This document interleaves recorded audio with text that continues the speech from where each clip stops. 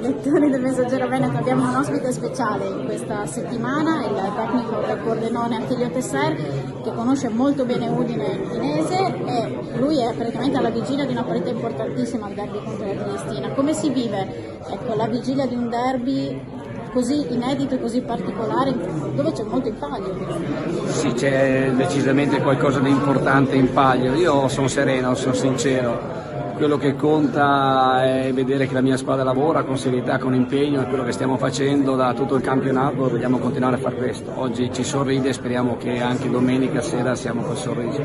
Ecco, prima che voi sorridiate domenica c'è una partita importante per l'Udinese, eh, un anticipo da paura contro la Juventus.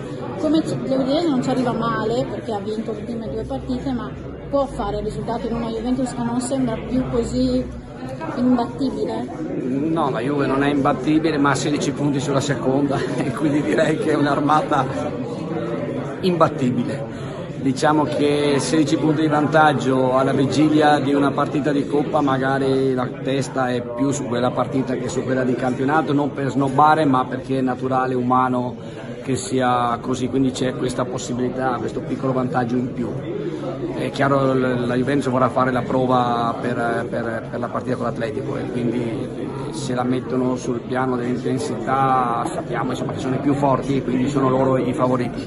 L'Udinese la partita se la va a giocare sicuramente ma quella più importante è quella che ha vinto eh, domenica contro il Bologna, quella dà una boccata di ossigeno, non tranquillizza ma una boccata di ossigeno è quello che conta, poi si potrà fare col paccio leggero, auguro di cuore.